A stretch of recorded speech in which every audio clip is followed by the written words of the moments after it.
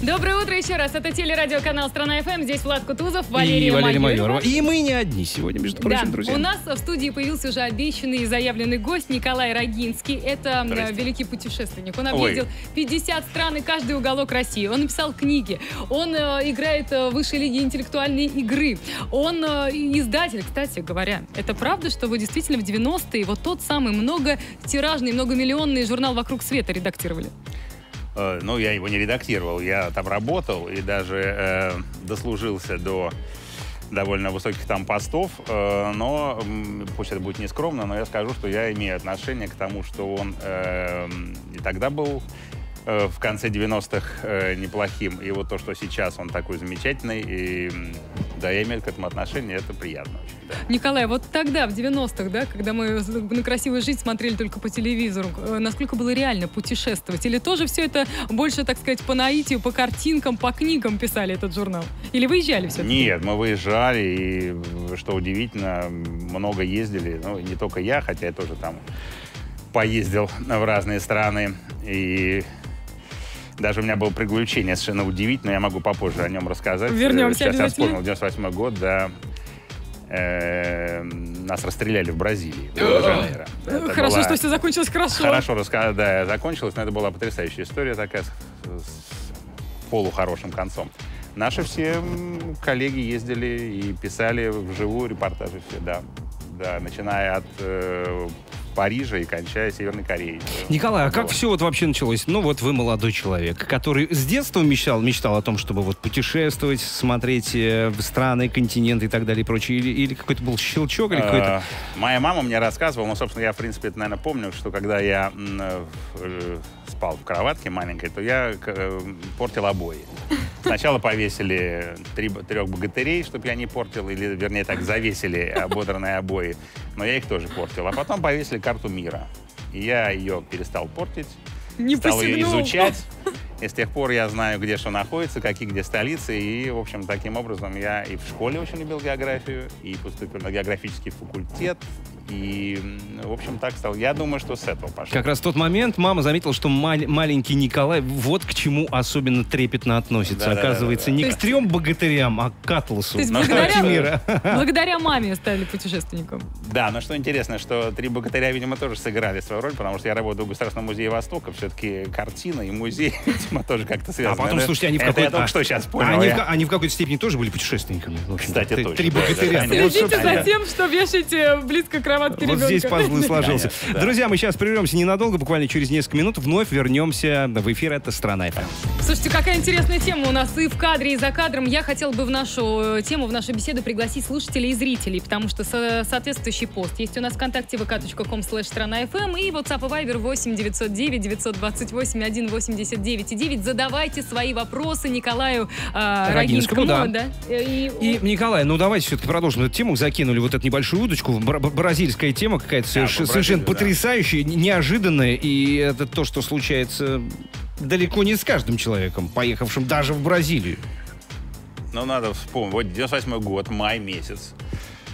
Мы поехали с моими э, друзьями, коллегами в Рио-де-Жанейро. Перелет был такой необычный. Ил-86 э, с посадкой на островах Зеленого мыса, город Прая. Потом Сан-Паулу. Остановка. Потом в Рио-де-Жанейро. На неделю, чтобы написать небольшой репортаж. Я помню э, первое впечатление, когда выходишь из аэропорта э, Рио-де-Жанейро, номера на машинах такие желтые, как американские, такие большие, и на них написано Рио-де-Жанейро. Так прям чувствуешь, вот оно, вот оно, счастье. Значит, нас поселили буквально там вторая или третья линия от э, моря. И сказали, вы гуляйте, но только вот с собой ничего не берите. Тут э, могут э, там воришки какие-то. Ну так, все очень... Не то, что там Не, ну Бразилия, надо признать, там безумно, вообще да. не просто с этим делом. Не, ну не надо ходить с дорогими часами, может, какие-то, не знаю, там, цепочки кто-то носит или кошельки. Но ничего не взяли с собой, пошли просто гулять, взяли с собой камеру. Три, в общем, здоровых мужика. Пошли вниз, чудесно, такие красивые люди, занимаются спортом, бегают. Э, бензоправочные станции, на которых написано алкоголь. Там же спиртом заправляются. О, Э, да. я не знала. Ты обрадовался? Нет, ну, я не знала. Э, Виды, море. Правда, э, там, значит, это у них, э, как бы у нас май, значит, э, скоро зима, южное полушарие, море такое беспокойное, мы идем вдоль пляжа, слегка мой друг эм, замочил белые брюки, ну, в Рио-де-Жанейро надо быть в белых брюках, и обратно мы идем по той стороне набережной, где гостиницы, много людей. Вдруг подходит человек и снимает камеру с, с- вот с- э, с моего друга Ой-ой-ой. плеча. Ну, видимо, что-то говоря, я сейчас не помню. Мы ему также вежливо говорим, что не надо, это не твоя камера. Он достает пистолет и в нас стреляет. Кошмар какой, какой Причем ужас. мой товарищ падает сразу. Они садятся на мотоцикл и уезжают. Камеру, кстати, мы не отдали. Э, У нас нет никаких документов. Я говорю на французском языке, э, закончив французскую школу в свое время. Э, Один мой товарищ говорит на английском, а в Бразилии говорит на португальском. Мгм. Никто никого не понимает, ничего не знает, и нас везут в госпиталь потом. Ну, не для бомжей, но, в общем, для тех, кто без документов. Значит, моего товарища оказывается раздроблена шейка бедра. Кошмар. Я вот э, много, ни сейчас мало. нервно улыбаюсь, я просто даже не знаю, как Слушай, реагировать. Николай, ну, ну Да, если, да. если не брать вот эти нюансы, ну, крайне неприятный. Все-таки оно закончилось же, все И равно же закончилось оно закончилось. тем, что страховка, которая, это вот очень важно, которая э, в компании э, большой AEG была аж на 30 тысяч э, долларов, и нам казалось, что ее должно хватить на все, про все. Оказалось, не так. Это, эти деньги, они вот на медицинские обслуживания только там 5 тысяч, 5 тысяч гробовых, там часть каких-то еще переводческих. И по приезде, что, ну, на самом деле, это надо там Ну, в общем, смысл такой, что очень, да, Я вним- собрал большую пресс-конференцию, работая вокруг света, и сказал всем, что вы напишите, пожалуйста, что дорогие туристы должны внимательно, извините, читать каждый-каждый пунктик. Или, а еще лучше, чтобы обязать туристические компании разъяснять, как там и что, потому что вот можно попасть в такую нехорошую ситуацию. Но у меня остались газеты с фотографиями. Но все равно я в Рио-де-Жанейро всем рекомендую поехать. Независимо от всего. В итоге все, все же живы-здоровы. Я же здоров, Вот да, но вот это- мой товарищ это перестал, А, кататься прям- после этого на горных лыжах и заниматься теннисом. А ситуация сильно не изменилась. У меня подруга была вот этой зимой в Рио-де-Жанейро, также шла, шла с фотоаппаратом, подошли и сняли. Все, давайте уезжаем из, Бра- уезжаем из Бразилии срочно. Друзья, Бразилии Николай Рогинский у нас в гостях. Мы продолжим разговор через несколько минут. Это телерадиоканал «Страна ФМ». Продолжаем говорить о путешествиях. И сердце у нас вот ёкнуло, вот э, иначе не сказать, от той истории, которую Николай э, Рогинский рассказал нам в прошлом выходе. Теперь мы точно знаем... Бразильское путешествие? Да, что первое, когда ты собираешься в путешествие, это ты должен позаботиться о своей безопасности, ты должен точно знать, эм, что, куда, как бежать, куда обращаться и какие суммы и бюджеты при- ну, та же самая страховая компания на тебя э, выдает. А вообще, вот, допустим, в кругосветку собираясь, что нужно знать, что нужно для себя подготовить? Действительно, я э, в прошлом году еще собрался в одиночное э, кругосветное путешествие, которое я собирался сделать в этом году. Ага. Это, мне казалось, очень будет необычно и интересно, ну, во всяком случае, для меня. Такая история. Э, В этом году в Москве 870 лет исполняется. Я поздравляю нашу столицу С наступающим. с наступающим, да. И наша э, стра- она- Москва находится на 56-й параллели. Я вот подумал, надо обойти земной шар по 56-й параллели. Но 56-я параллель находится в, э, в таком...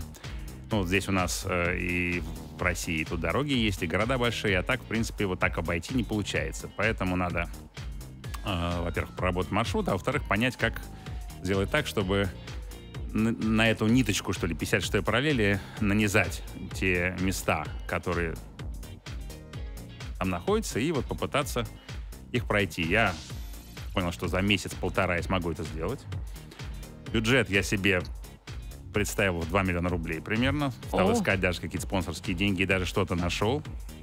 Москва, Владимир, Нижний Новгород, Красноярск, э, Северобайкальск, э, Тында, э, Камчатка, Ключевская сопка, Оливудские острова, север Канады, Эдинбург, Глазго, Копенгаген, Ландскруна в Швеции, А вот эти вот бюджеты... Щауля, и потом Ага. вернуться обратно через э, уже с запада. Ну, то есть деньги в основном уходят на билеты, на проживание, на, На билеты, на проживание, на питание, да. Но выяснилось, во-первых, эм, многие эм, вещи невозможно предугадать, э, как пойдет, ну, с погодой, например. Вот как попасть на Ливовские острова, а там будет непогода. Мгм. И сидишь где-то и сидишь. Значит, явно можно в месяц не уложиться. Я все-таки работаю в Государственном музее Востока, и максимум на месяц, и то меня бы отпустили. Ну, там взять еще больничный, но, может быть, можно договориться. Дальше мне посоветовали, что чтобы было все хорошо, надо где-то взять наличные с собой деньги, там на Камчатке попасть на вулкан Ключевскую сопку, ну, это сотни тысяч рублей. В кармане с собой понести. Интересно. Не очень, да. И, наконец, конечно, э, одиночное кругосветное путешествие, оно подразумевает, что я вообще один.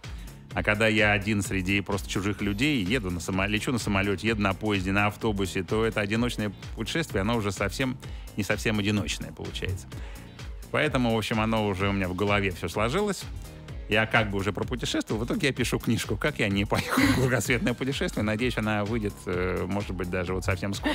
Так, про книгу мы поговорим Да. подробнее, но прямо сейчас нам нужно прерваться. Это телерадиоканал «Страна ФМ». Задавайте свои вопросы vk.com slash страна FM. Николай Рогинский у нас в гостях, друзья. Скоро вернемся.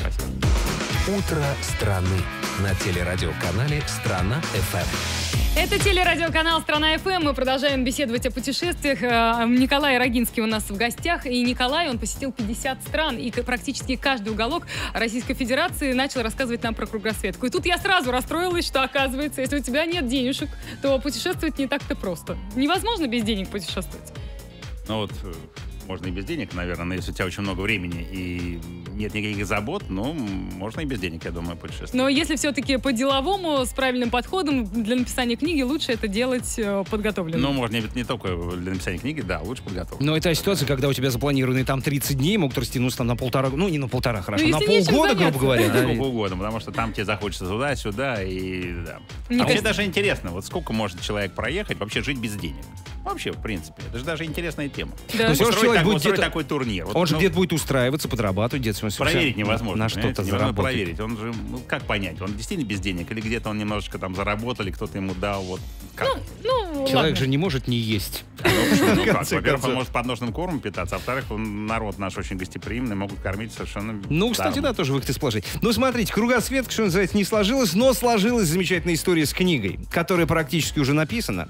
О Она- чем она, она? написано, да, мне помогают э, мои коллеги, те, кто меня там поддерживал, но э, она пока еще не вышла, я даже не знаю, выйдет ли она, но она пишется, да. Ну, в общем, допустим, вот человек, э, когда приобретает вашу книгу, что он там сможет интересного для себя почерпнуть? Это будет как бы готовый путеводитель по кругосветному путешествию по 56-й параллели э, нашего шарика. А, все-таки вот та история с 56-й параллели. 56-й что- параллель. Да, это будет вот прям вот он э, выходит из Москвы, выезжает, выплывает, я не знаю, там.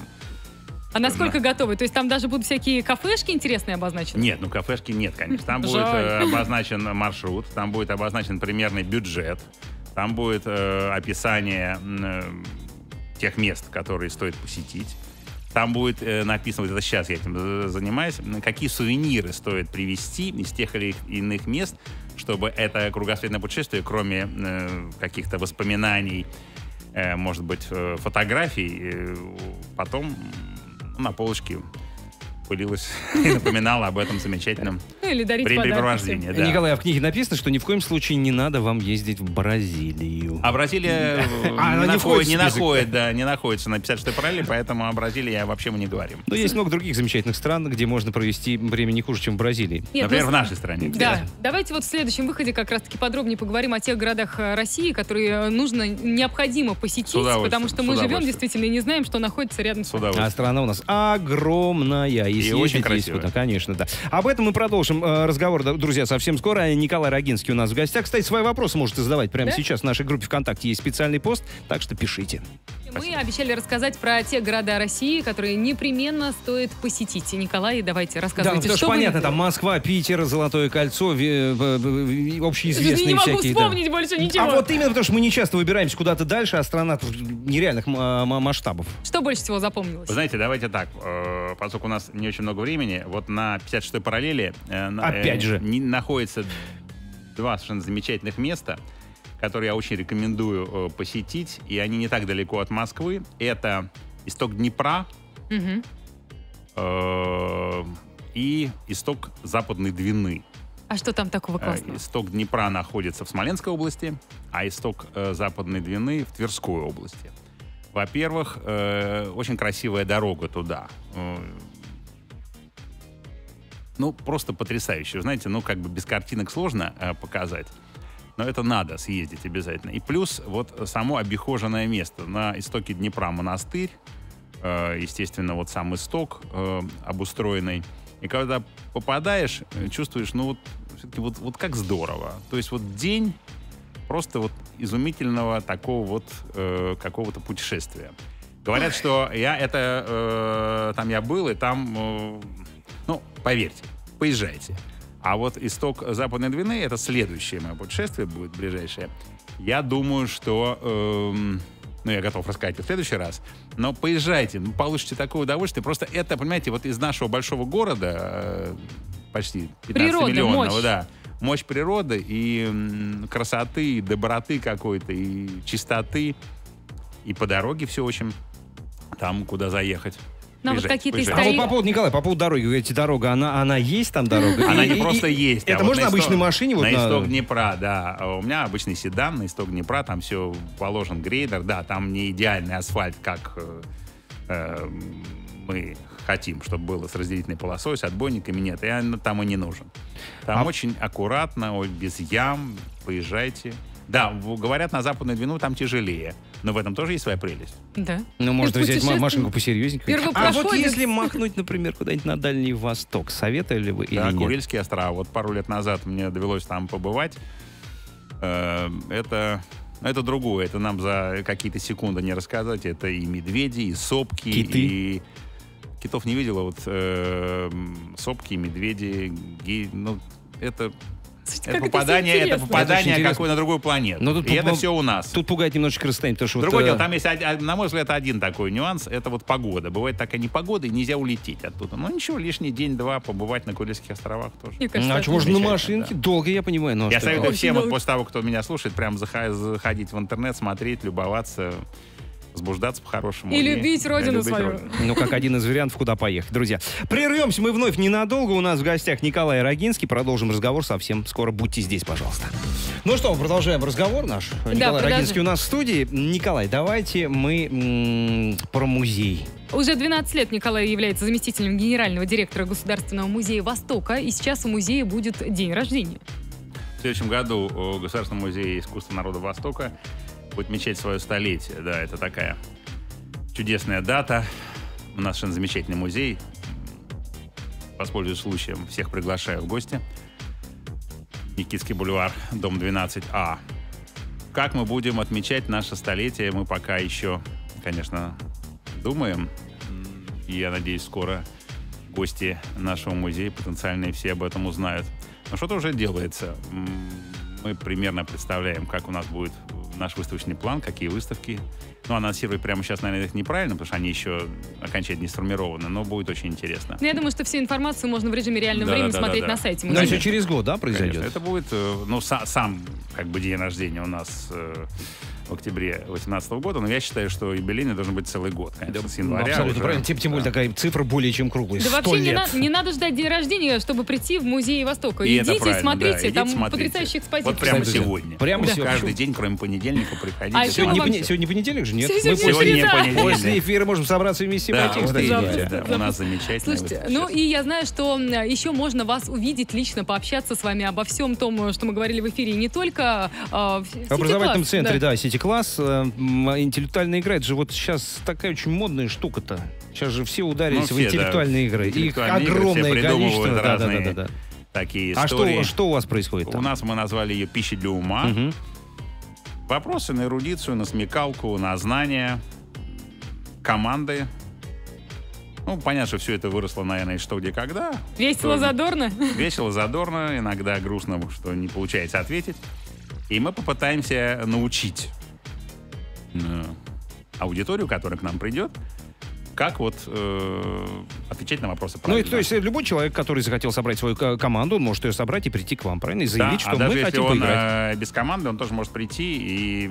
И найти команду и уже найти у вас. команду там. А может быть, он будет частью команды, а может быть, команда будет усеченная, он такой умный, ему и команда не нужна. Ну давайте пригласим наших слушателей и зрителей еще раз, где и когда это произойдет. Сити-класс, надо зайти на сайт, записаться, посмотреть. Э, Я, честно говоря, не помню даже время. Ну вот. Ну, в общем, зайти на сайт, посмотреть, когда все это проходит, и прийти и сказать, я умный, я интеллектуал, я хочу играть. Я буду делать для ума будет раз в месяц, в течение ближайших четырех месяцев, э, в конце каждого месяца. Пожалуйста, я всех жду и приглашаю. Влад, ты не Уверен, что будет очень интересно. Там даже если ты не умный, ты приходишь и говоришь, научите меня, и Николай научит. А реально, если пришел человек, ну так, ну скажем так, не совсем умный, есть у него шанс поумнеть чуть-чуть? Конечно, точно. Отлично. Ну, Каждый раз- день нас делают умнее, это точно. на этой Я оптимистической обязательно ноте пойду. мы Я вас поймал на слове. И будем Спасибо. э, расставаться. Огромное вам спасибо, Спасибо за вам то, что большое. пришли и рассказали. Это было очень интересно. Спасибо. И э, надеюсь, что увидим вас еще в нашей студии. Николай Рогинский Спасибо был у нас, писатель, интеллектуал, путешественник, много кто еще. Большое спасибо. Спасибо вам Ждем вас большое. еще. Спасибо. Друзья, мы тоже прощаемся. До завтра. Лера. Майорова. Влад Кутузов, На пока. телерадиоканале «Страна FM».